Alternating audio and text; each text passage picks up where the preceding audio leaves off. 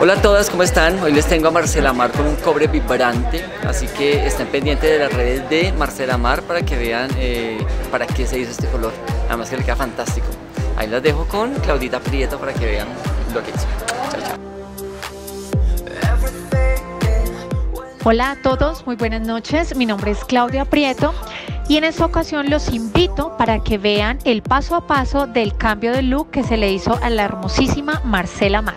En ella trabajamos las tonalidades cobre vibrantes, las cuales por el tipo de base que tiene ella no hubo necesidad de hacer ningún tipo de decoloración.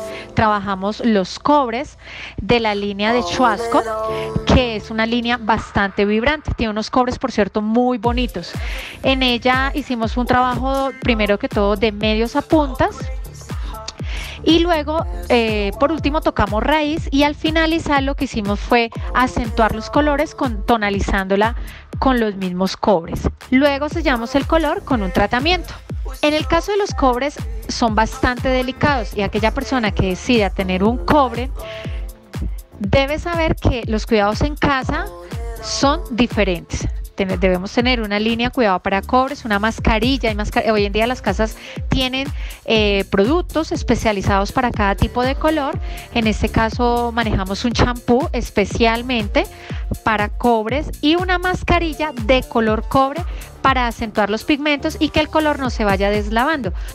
Le queda muy bien a las personas de ojos claros, esas personas que tienen pecas, eh, que son mm, como de tez rojiza, le queda súper bien las tonalidades cobres, es un color muy bonito, es un color muy llamativo y mm, debemos tener mucha seguridad a la hora de tomar una decisión.